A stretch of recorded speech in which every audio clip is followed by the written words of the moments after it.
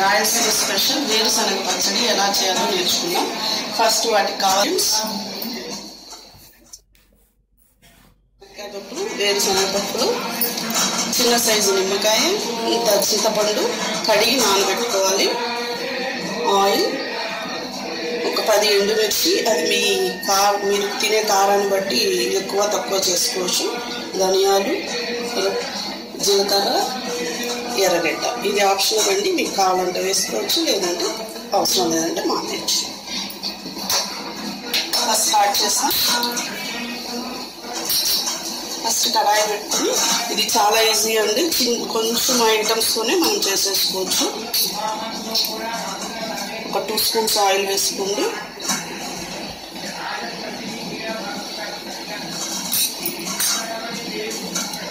Oil మీడియంలో పెట్టుకోండి.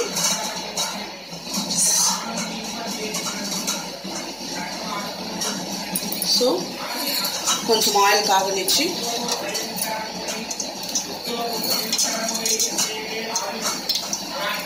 ధనియాలు ఏం చేసుకోండి.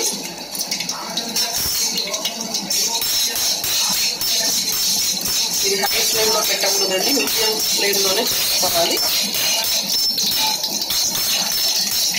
హై ఫ్లేమ్లో చేస్తే మాడిపోతుంది.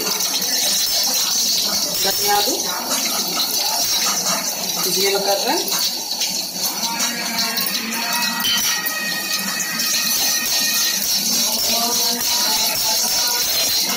ఈ రెండు బాగా వేయించుకోవాలండి మీడియంలో.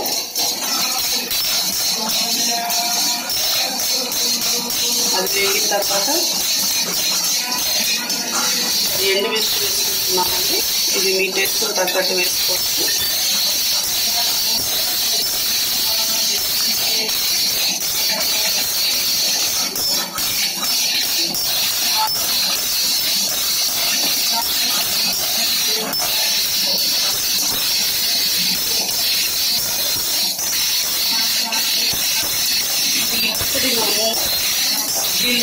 వీళ్ళు వాడి కూడా చాలా బాగుంటుంది మనకి బాగుంటుంది ఇడ్లీ దోశ బాగుంటుంది మనం నార్మల్గా అయితే ఇడ్లీకి దోశకి ఏదైనా చట్నీ చేసుకున్నాం లెవెల్ దాకా పాడైపోతుంది ఇది అనుకోండి ఒక రోజు మొత్తం తీసుకెళ్ళచ్చు బయట ఎక్కడైనా క్యారీ తీసుకొని అది శనగపప్పు చేస్తే పాడైపోతుంది అనుకునేవాళ్ళు పచ్చడి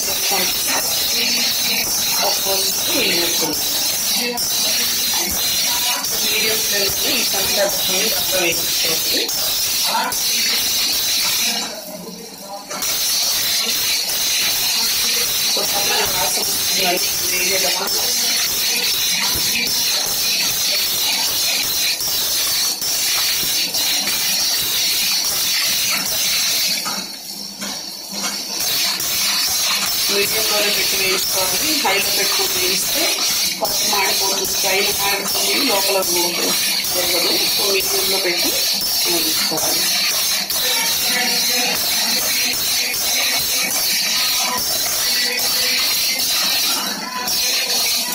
మళ్ళీ పప్పు వేసుకోండి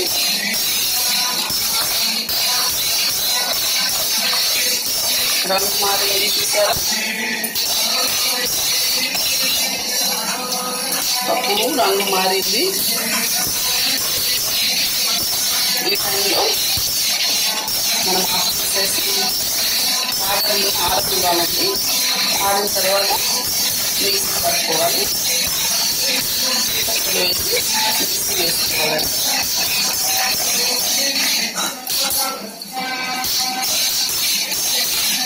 సరిపోయిందండి మిక్సీ జార్లోకి తీసుకొని ఒకసారి ఊరికే ఒకసారి గ్రైండ్ చేసుకోండి.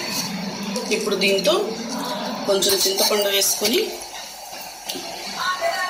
నానబెట్టుకున్న చింతపండు వేసి ఒకసారి మళ్ళా ఒకసారి రుబ్బుకోండి. దీంతో ఆ చింతపండు నానిన వాటర్ వేసుకొని కొంచెం సాల్ట్ వేసుకొని రాళ్ళు వేసుకొని మళ్ళీ ఇంకోసారి మిక్సీ పట్టుకోండి బాగా. కొంచెం కావాల్సిన వాటర్ వేసుకొని మళ్ళీ గ్రైండ్ చేసుకోండి. మరీ మెత్తగా కాకుండా ఇలా కొంచెం కచ్చా పచ్చిగా ఉండేట్టుగా గ్రైండ్ చేసుకోండి. ఇప్పుడు ఒక బౌల్లోకి తీసుకోండి. పచ్చడి రెడీ అయిందండి. దీంతో మనకు కావాలంటే కొంచెం ఉల్లిపాయలు ఇట్లా కట్ చేసింది వేసుకొని మిక్స్ చేసుకోవచ్చు.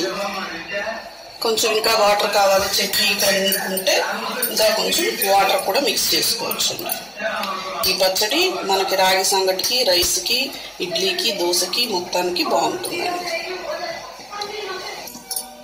సో వేరుశనగల పప్పు పచ్చడి రెడీ అయిపోయింది.